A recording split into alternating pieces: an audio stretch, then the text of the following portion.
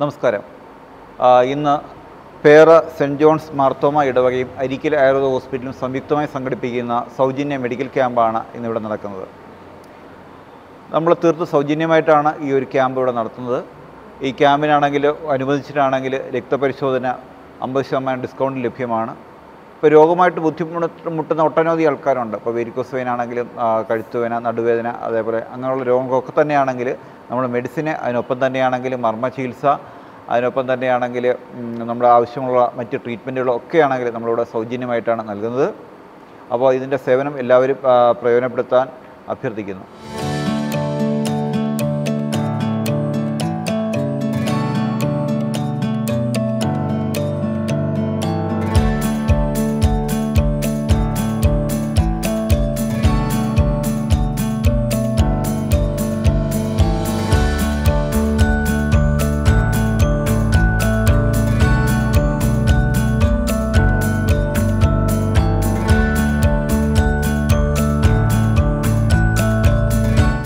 എന്റെ കർത്തവ്യം എന്ന് പറയുന്നത് ഈ യോഗത്തിന് സ്വാഗതം അർപ്പിക്കുക എന്നുള്ളതാണ്.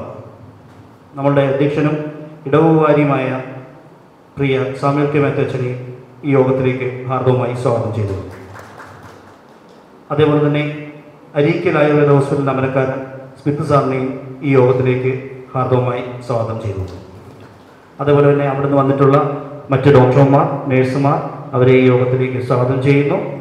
അതേപോലെ തന്നെ നമ്മളിവിടെ കൂടിയിരിക്കുന്ന എല്ലാവരെയും ഒറ്റ വാക്കിൽ ഈ യോഗത്തിലേക്ക് സ്വാഗതം അർപ്പിച്ചുകൊണ്ട് എന്റെ വാക്കുകൾ നിൽക്കുന്നു. നന്ദി നമസ്കാരം. ദൈവത്തിന് സ്തുതി. ഒരു നല്ല ദിവസത്തിന്റെ പ്രഭാതത്തിൽ പേരാസൻ ജോൺസ് മാർത്തോമ ഇടവകയുടെ അങ്കണത്തിൽ വെച്ച് അരീക്കൽ ആയുർവേദ ഹോസ്പിറ്റലുമായി ചേർന്ന് ഒരു മെഡിക്കൽ ക്യാമ്പ് നടത്തുന്നതിന് ഈ ഇടവയൊക്കെ സാധിച്ചതിൽ അതിയായ സന്തോഷവും രേഖപ്പെടുത്തുകയും ചെയ്യുകയാണ്. ഇന്ന് ഈ ടീമിന് നേതൃത്വം നൽകുന്ന പ്രിയപ്പെട്ട സ്മിത്ത് ഡോക്ടർ സ്മിത്ത് മറ്റ് ഹോസ്പിറ്റലിന്റെ പ്രവർത്തകർ ചികിത്സ അർത്ഥം ഈ ദേവാലയത്തിന്റെ അങ്കണത്തിൽ വന്നിട്ടുള്ള പ്രിയപ്പെട്ടവർ എല്ലാവരെയും ഒരിക്കൽ കൂടെ സ്വാഗതം ചെയ്യുന്നു. സൗഖ്യം ആണ് സമഗ്രമായിട്ട് മനുഷ്യന്റെ ജീവിതത്തിന് ആവശ്യം.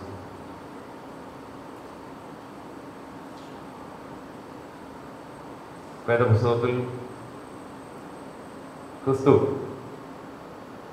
പലതരങ്ങളിൽ ഉള്ള ആൾക്കാർ തന്നെ സമീപിച്ചപ്പോൾ പല രോഗങ്ങൾ ബാധിച്ചിട്ടുള്ളവർ മാനസിക സംഘർഷങ്ങൾ ഉള്ളവർ എന്നെ സമീപിച്ചപ്പോൾ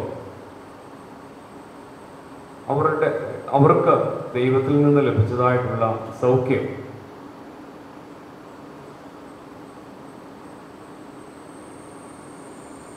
അവർ ചിലരോട് പറഞ്ഞു നിങ്ങൾ ഇതെങ്ങും ആരോടും പറയരുത് എന്ന് പറഞ്ഞു. എന്നാൽ അവർ അത്യധികം ഘോഷിച്ച് പറഞ്ഞു എന്ന് പിന്നീട് പറയുന്നു സൗഖ്യം ലഭിക്കുമ്പോഴാണ് മനുഷ്യന് അവരുടെ ഒരു ടോട്ടൽ വെൽബീയിങ്ങിലേക്ക് ഒരു മനുഷ്യനെ നയിക്കുവാനായിട്ട് സാധ്യമായിട്ടില്ല. മർക്കോസിന്റെ സുവിശേഷത്തിൽ നമ്മൾ കേട്ടിട്ടുണ്ട്. അവൻ ചേറുണ്ടാക്കി കണ്ണിൽ പുരട്ടി സൗഖ്യം ലഭിച്ചു എന്ന് പറയും അവൻ ചിലരുടെ മേൽ തൊട്ടു അവർക്ക് സൗഖ്യം ലഭിച്ചു എന്ന് പറയും ചിലരോട് പറഞ്ഞു പൊക്കൊള്ളുക സൗഖ്യം ലഭിച്ചു എന്ന് പറയും വാക്കുകൊണ്ടും പ്രവൃത്തി കൊണ്ടും ഒക്കെ സൗഖ്യം ലഭിക്കും. നമ്മെ സമീപിക്കുന്നവരും അങ്ങനെ സൗഖ്യം ലഭിക്കുന്നവരായി തീരുവാൻ ഒരു നല്ല നാളേക്ക് വേണ്ടി ആരോഗ്യമുള്ള സമൂഹത്തെ രൂപപ്പെടുത്തിയെടുക്കുവാൻ ദൈവം നമ്മെ എല്ലാവരെയും സഹായിക്കട്ടെ പ്രാർത്ഥിച്ചുകൊണ്ട് ഇന്ന് ഇവിടെ നടക്കുന്ന ഈ മെഡിക്കൽ ക്യാമ്പ് ഔപചാരികമായി ഉദ്ഘാടനം ചെയ്യുകയും ചെയ്യും അപ്പോൾ നമുക്ക് മനസ്സിലാക്കാൻ സാധിച്ച കാര്യം എന്ന് വെച്ച് കഴിഞ്ഞാൽ കഴിഞ്ഞ പത്തിരുപത് വർഷമായിട്ടാണെങ്കിൽ നമ്മുടെ ആരോഗ്യരംഗം വളരെയധികം ഒരുപാട് രോഗങ്ങളിലേക്കും മാറിക്കൊണ്ടിരിക്കുന്നു. അതിന്റെ പ്രധാനപ്പെട്ട കാരണം എന്താണെന്ന് വെച്ച് കഴിഞ്ഞാൽ കഴിഞ്ഞ പത്തിരുപത് വർഷമായിട്ട് മാറിയ നമ്മുടെ ആഹാര രീതി അല്ലെങ്കിൽ ജീവിത ശൈലികളാണ്.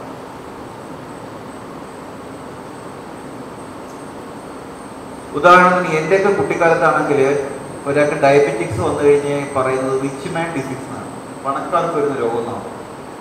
ഇന്നത്തെ സ്ഥിതി അതല്ല. ഇന്ന് കാറിൽ പോകുന്ന മുതലാളിയും തൊഴിലാളിയും എല്ലാം കഴിക്കുന്നത് ഒരേ മെഡിസിൻ എല്ലാവരെയും ബാധിച്ചിരിക്കുന്നു ഡയബറ്റിക്സ് ഡയബറ്റിക്സ് ഇല്ലാത്ത വളരെ കുറച്ച് ഒരു ഫോർട്ടി പ്ലസ് ആയി കഴിഞ്ഞാൽ ഡയബറ്റിക്സ് ഇല്ലാത്ത വളരെ കുറവാണ്. പ്രഷറിന്റെയും കൊളസ്ട്രോളിന്റെയും കാര്യം വ്യത്യസ്തമല്ല. അതേപോലെ എന്റെ കുട്ടിക്കാലത്ത് ആയിരുന്നു എന്തായിരുന്നു? കല്ലുപ്പ് മുറുക്കിയിട്ടായിരുന്നു ഉപ്പ് അപ്പോൾ ഗവൺമെന്റിന്റെ ഒരു ബോധം തോന്നി എന്ത് ചെയ്തു. ഈ തൈറോയ്ഡ് രോഗികൾ കൂടുന്നത് കല്ലുപ്പ് കഴിച്ചിട്ടാണ്. ഗവൺമെന്റ് എന്ത് ചെയ്തു? ഈ കല്ലുപ്പ് ബാൻ ചെയ്തു. എന്നിട്ട് കംപ്ലീറ്റ് ഈ അയോഡൈസ് ഉൽപ്പാദനം അന്നത്തെ തൈറോയ്ഡ് രോഗികളുടെ എണ്ണം ഇന്നത്തെ തൈറോയ്ഡ് രോഗികളുടെ എണ്ണം നമ്മൾ കമ്പയർ ചെയ്ത് കഴിഞ്ഞാൽ അന്നത്തെ ഒരു നൂറിരട്ടി തൈറോയ്ഡ് രോഗികളാണ്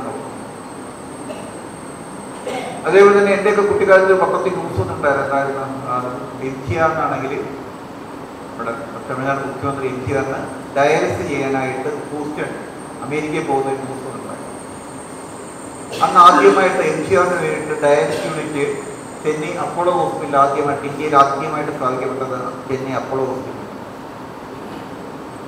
ഇന്ന് ഡയാലിസിസ് ചെയ്യണമെന്നുണ്ടെങ്കിൽ നിങ്ങളാണെങ്കിൽ അമേരിക്കയിൽ പോകേണ്ട ആവശ്യമില്ല. തൊട്ടടുത്തുള്ള താലൂക്ക് ഹോസ്പിറ്റലിൽ തന്നെയാണെങ്കിൽ ഒന്നിലധികം ഡയാലിസിസ് യൂണിറ്റുകൾ അവൈലബിൾ ആണ്. ഒരു ഡയാലിസിസ് യൂണിറ്റ് ലാഭത്തിൽ നടക്കണമെന്നുണ്ടെങ്കിൽ അവിടെ മിനിമം ആണെങ്കിൽ അഞ്ച് ഡയറക്ഷൻ ഒരു ദിവസം നടന്നെങ്കിൽ മാത്രമേ ലാഭത്തിൽ നടക്കുള്ളൂ അപ്പൊ ഇത് കാണിക്കുന്നത് നമ്മുടെ ആരോഗ്യരംഗത്തിന്റെ വളർച്ചയാണോ തളർച്ചയാണോ? ഇത്രയധികം കിഡ്നി ഫെയിലോ രോഗികളെ നമ്മൾ സൃഷ്ടിക്കപ്പെട്ടുകൊണ്ടിരിക്കുകയാണ് ഓരോ ദിവസവും. ഇതിന്റെ എല്ലാം കാരണം എന്ന് വെച്ച് കഴിഞ്ഞാൽ ഞാൻ പലപ്പോഴും പറയാറുണ്ട് നമ്മുടെ ടെക്നോളജി വളരുന്നതനുസരിച്ചിട്ടാണെങ്കിൽ നമ്മുടെ ആരോഗ്യം കുറഞ്ഞുകൊണ്ടിരിക്കുന്നത് അതിന്റെ പ്രധാന കാരണം ടെക്നോളജിയുടെ തെറ്റായ ഉപയോഗമാണ്. നമ്പർ വൺ കാരണം എന്താണെന്ന് ചോദിച്ചു കഴിഞ്ഞാൽ അടുക്കളയിൽ വന്ന ടെക്നോളജിയുടെ തെറ്റായ ഉപയോഗമാണ്. ഏറ്റവും നമ്പർ വൺ റെഫ്രിജറേറ്ററാണ് ഫ്രിഡ്ജാണ് പണ്ടൊക്കെ ആഹാരം മൂന്ന് നേരം നമ്മൾ ഫ്രിഡ്ജ് കഴിക്കുകയായിരുന്നു ചെയ്തിട്ടുള്ളത് ഇന്ന് അതാണ് സ്ഥിതി. ഇന്ന് ഒരാഴ്ചത്തേക്ക് പാചകം ചെയ്യും. ഈ മോർച്ചറിയിലേക്ക് കയറ്റി വയ്ക്കും. വീണ്ടും എടുത്തിട്ട് ചൂടാക്കി ഉപയോഗിക്കും. രോഗങ്ങളെ നമ്മൾ ഏടി വെച്ച് പിടിക്കുകയാണ് മറ്റൊന്ന് ചോറ് തിളപ്പിച്ച് വെച്ച് കഴിഞ്ഞാൽ പലർക്കും തെറ്റായതാണ് ചോറ് തിളപ്പിച്ച് വെച്ച് കഴിഞ്ഞാൽ ഡയബറ്റീസ് കുറയുന്നുണ്ട് അല്ല ഏത് ആഹാരവും പാചകം ചെയ്ത് മൂന്ന് മണിക്കൂർ കഴിയുമ്പോൾ അതിന്റെ സ്മെല്ല് മാറും. അത് കേടായി. പിന്നെ അത് ഏത് രീതിയിൽ ഉപയോഗിക്കാൻ പാടില്ല.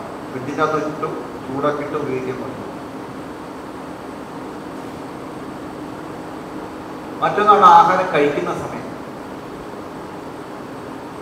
യഥാർത്ഥത്തിൽ സൂര്യൻ അസ്തമിച്ചു കഴിഞ്ഞാൽ പിന്നെ ആഹാരം കഴിക്കുന്നത് എന്നുള്ളതാണ്. നമ്മുടെ മെറ്റാബോളിസം സൂര്യന്റെ അടിസ്ഥാനത്തിലാണ്. ഉച്ചയ്ക്ക് നല്ല ഡൈജഷൻ ആയിരിക്കും. സന്ധ്യ കഴിഞ്ഞാൽ പിന്നെ ഡൈജഷൻ കുറയും. അതുകൊണ്ടാണ് നമ്മൾ പ്രകൃതിയിലേക്ക് നോക്കുക. പകൽ കണ്ണു കാണുന്ന ജീവികളൊന്നും തന്നെ. സന്ധ്യ കഴിഞ്ഞാൽ പിന്നെ പക്ഷികളോ മൃഗങ്ങളോ ഒന്നും ആണെങ്കിൽ സന്ധ്യ കഴിഞ്ഞാൽ ആഹാരം കഴിക്കും. പിറ്റേതില്ല നേരം എടുത്തിട്ട് അവർ ആഹാരം കഴിക്കും. പക്ഷെ നമ്മളാണെങ്കിലോ ഇന്ന് ടി വി വന്നതോടുകൂടി ഉള്ള സീരിയൽ മൊത്തവും കണ്ട് അവസാനത്തെ കോമഡി ഷോയും കണ്ടിട്ടാണ് ഇതാണെങ്കിൽ ആഹാരം കഴിക്കുന്നത് അത് ശരിയായിട്ട് ഡൈജസ്റ്റ് ചെയ്തില്ല. നമ്മൾ രാത്രി താമ- താമസിച്ച് ആഹാരം കഴിക്കും അതാണ് പല രോഗത്തിലേക്ക് നയിക്കുന്നത്. പ്രത്യേകിച്ച് രാവിലെ എഴുന്നേക്കും ഉണ്ടാകുന്ന പൂറ്റി വേദന ഒരേ ഒരു കാരണം രാത്രി താമസിച്ച് ആഹാരം കഴിക്കുന്നത് മാത്രമാണ്. ഇപ്പൊ രാത്രി നേരത്തെ ആഹാരം കഴിക്കുക. അതുപോലെ രാത്രിയിൽ ഹെവി ഫുഡ് കഴിക്കാതിരിക്കുക. രാത്രി ഇപ്പോൾ ലൈറ്റ് ഫുഡാണ് എപ്പോഴും നല്ലത്. രാത്രി ചോറ് കഴിക്കാതിരിക്കുക. രാത്രിയിലാണെങ്കിൽ ചപ്പാത്തി ദോശ ഇഡലി ഗോതമ്പൊക്കെ കഴിക്കും അതേപോലെ തന്നെ ഉച്ചയ്ക്ക് പാചകം ചെയ്ത ഭക്ഷണങ്ങളോ കറികളോ ഒന്നും പോലും രാത്രി കഴിക്കരുത്. അപ്പം ഉണ്ടാക്കുന്നതാണ് രാത്രി. രാവിലെ ഉണ്ടാക്കുന്നതാണ് ഉച്ചയ്ക്ക് കഴിക്കാം അതിനപ്പുറത്തേക്ക് കഴിക്കരുത്. ഇത് നമ്മുടെ രോഗത്തെ വിളിച്ചു വരുന്നത് മറ്റൊന്നാണ് ഈ ആരോഗ്യത്തിന്റെ ബിസ്ക്കറ്റ്. എല്ലാവരും വളരെ നല്ലതാണെന്ന് കഴിക്കുന്നതാണ് ഈ ടൈഗർ ബാമിലകത്ത് ടൈഗറിൽ എന്ന് പറയുന്ന പോലെയാണ്. ഈ ആരോ റൂട്ടിൻ ബിസ്ക്കറ്റിനകത്താണെങ്കിൽ ആരോഗ്യത്തിന്റെ അംശമായി പോയിന്റ് സീറോ പെർസെന്റേജ് ആണ് പക്ഷെ അതിനകത്ത് ഉപയോഗിച്ചിരിക്കുന്ന മറ്റു സാധനങ്ങളാണ്. ഉപയോഗിച്ചിരിക്കുന്ന flour treatment agent I N S two twenty three respiratory ഇറിറ്റേഷനെ headache nausea ഉണ്ടാക്കുന്ന പ്രൂവ് ചെയ്തിട്ടുള്ളതാണ് food colour I N S one fifty D high blood pressure allergic reaction ഉണ്ടാക്കുന്ന എന്ന് വെച്ചാൽ butterscotch constipation increased blood calcium level vomiting nausea എന്ന് വെച്ചാൽ sulphate wheezing asthma irregular heartbeat ഉണ്ടാക്കുന്ന തെളിയിക്കപ്പെട്ടതാണ്. ഇതിനകത്ത് വെച്ചിരിക്കുന്ന മറ്റൊരു കെമിക്കലുകൾ സ്റ്റമക് പെയിന് ഡയറിയ തുടങ്ങിയ ഒട്ടനവധി രോഗങ്ങളിലേക്ക് നയിക്കുന്നതാണ് ഇതിനകത്ത് വെച്ചിരിക്കുന്ന കെമിക്കലുകൾ.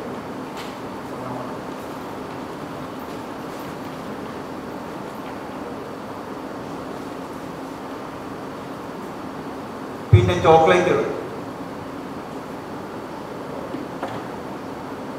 പണ്ടൊക്കെ ആണെങ്കിൽ എന്റെ മാമൻ വരുമ്പോഴായിരുന്നു എനിക്ക് ആക്ച്വലി ഒരു പീസ് ചോക്ലേറ്റ് കിട്ടുന്നത്. പക്ഷേ ഇന്നത്തെ സ്ഥിതി അതല്ല. ഇന്ന് കുട്ടികൾക്ക് ദിവസവും ചോക്ലേറ്റ് കിട്ടാനുള്ള സാധ്യത ഒന്ന് വീട്ടുകാർ മേടിച്ചെടുക്കും അല്ലെങ്കിൽ നാട്ടുകാർ മേടിച്ചെടുക്കും. വലിയ അവിടെ പിടിച്ച സാധനമാണ് ഈ ചോക്ലേറ്റ് എന്ന് ഉദാഹരണം ഞങ്ങളൊരു പതിമൂന്ന് വയസ്സുണ്ട് കുട്ടി വന്നിട്ടുണ്ട് എല്ലാ ജോലിയിലും പെയിൻ ആയിട്ട്. അപ്പോൾ നമ്മൾ ഹിസ്റ്ററി നോക്കിയപ്പോൾ എന്താണ്? അച്ഛൻ ഗൾഫിലാണ് വലിയ ഉണ്ട ചോക്ലേറ്റ് ആണെങ്കിൽ മേടിച്ച് അത് സ്റ്റോക്ക് ചെയ്ത് വെച്ചിരിക്കുക. ആഹാരത്തിന് പകരമായിട്ട് ഇതാ കഴിക്കുന്നത്. അങ്ങനെ രണ്ടു മൂന്ന് വർഷം കഴിച്ച് കഴിയുമ്പോഴത്തേക്കാണ് എല്ലാ ജോലിയിലും പെയിൻ ആയിട്ട് വന്നത്. ഇത് മാത്രമല്ല ഒട്ടനവധി കുട്ടികൾക്കാണെങ്കിൽ ഇതേ പ്രശ്നം തന്നെ. ചോക്ലേറ്റ് കഴിക്കുമ്പോൾ ഉണ്ടാകുന്ന ബുദ്ധിമുട്ടുകളായിട്ട് വരാറുണ്ട്. അപ്പോൾ വല്ലപ്പോഴും ചോക്ലേറ്റ് കഴിക്കുന്നതിന് വലിയ കുഴപ്പമൊന്നുമില്ല. പക്ഷേ സ്ഥിരമായിട്ട് ചോക്ലേറ്റ് ഉപയോഗിക്കുകയും ഇതിന്റെ അമിത ഉപയോഗമാണെങ്കിൽ നിങ്ങൾക്ക് കാണാൻ സാധിക്കും. ഇതിന്റെ അകത്താണെങ്കിൽ ഉപയോഗിച്ചിരിക്കുന്ന കെമിക്കലുകളുടെ റിയാക്ഷൻ ഇങ്ങനത്തെ കളറുകൾ തന്നെയാണെങ്കിൽ നിങ്ങളിത് കൂടി അടിച്ച് നോക്കിയാൽ മതി. Increase inflammation may cause cancerogenous ഉണ്ടാക്കും ട്യൂമർ ഉണ്ടാക്കും ഹൈപ്പർ സെൻസിറ്റിവിറ്റി ഉണ്ടാക്കും എന്ന് പ്രൂവ് ചെയ്തിട്ടുള്ള സാധനമാണ്.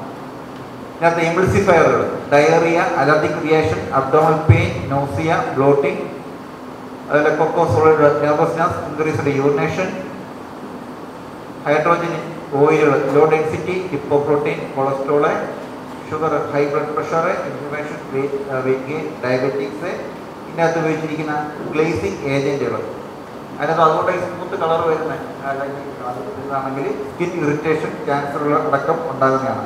ഇതിനകത്ത് ഇരിക്കുന്ന flour caramel vanilla fatty weight gain sulphate allergic rhinitis urticaria തുടങ്ങിയ പലതരത്തിലുള്ള സ്കിൻ ഡിസീസുകളിലേക്കും നയിക്കുന്നതാണ് ഈ ഉപയോഗിക്കുന്ന ചോക്ലേറ്റുകളും ഒക്കെ തന്നെ. അപ്പോൾ ഇത്തരത്തിൽ പാക്കറ്റ് വരുന്ന സാധനങ്ങളൊക്കെ പരമാവധി ഒഴിവാക്കിയിട്ട് പണ്ടത്തെ നാടൻ പലഹാരങ്ങളാണെങ്കിൽ അല്ലെങ്കിൽ മൈദ ചേരാത്ത അല്ലെങ്കിൽ എണ്ണയിൽ വറക്കാത്ത കപ്പലിന്റെ മുട്ടായി കഴിക്കാൻ ഒരു കുഴപ്പമില്ല. എള്ളുണ്ട കഴിക്കാൻ ഒരു കുഴപ്പമില്ല. അല്ലെങ്കിൽ ഇലയപ്പം കഴിക്കാം ഒരു കുഴപ്പമില്ല. മുളക്കട്ട കഴിക്കാം ഒരു കുഴപ്പമില്ല.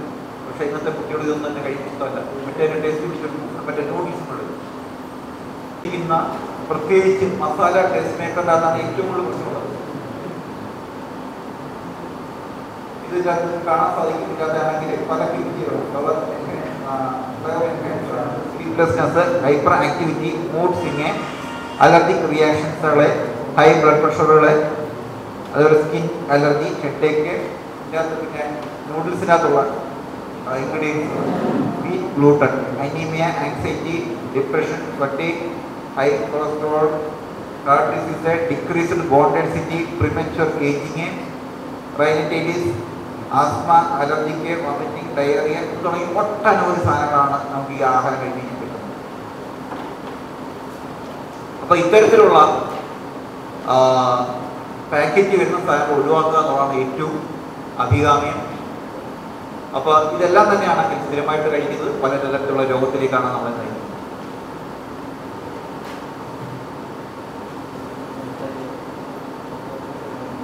പിന്നീട് മുട്ടുവേദന നടുവേദനയിലേക്കൊക്കെ നോക്കിക്കഴിഞ്ഞാൽ ദൈവമാണെങ്കിൽ നമുക്കാണെങ്കിൽ തൊണ്ണൂറ് വയസ്സിൽ ഒരു കുഴപ്പമില്ലാത്ത രീതിയിലാണ് എല്ലുകളൊക്കെ സൃഷ്ടിച്ചുകൊണ്ടിരിക്കുന്നത് പക്ഷേ നമ്മുടെ കയ്യിരിപ്പ് കൊണ്ടാണ് ഈ തീരുമാനം ഉണ്ടാകുന്നത്. ബ്ലഡിന് നേരത്തെ പറഞ്ഞതുപോലെ അസുനിക്കായുള്ള സാധനങ്ങൾ കഴിക്കുമ്പോൾ ബ്ലഡിന്റെ അസുനിറ്റി കൂടിയും. ഈ അസുനിറ്റി ആണെങ്കിൽ ബോഡി ബാലൻസ് ചെയ്യുന്നത് എല്ലിനകത്ത് കാൽസ്യം വലിഞ്ഞിട്ടുണ്ട് അപ്പോൾ അസുനിറ്റി ഉണ്ടാക്കുന്ന ആഹാരം ഒഴിവാക്കിയാൽ തന്നെയാണെങ്കിൽ നമുക്ക് തീരുമാനം മാറും.